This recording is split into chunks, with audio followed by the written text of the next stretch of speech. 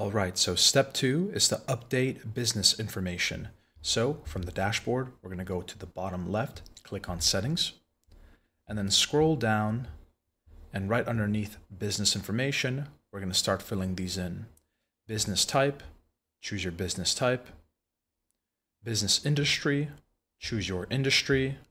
We're going to go with media for this company. Business registration ID, fill that in. And then business registration number, fill that in as well. And then choose your business region of operation, which we are based in the US. And then click update information. Thanks for watching.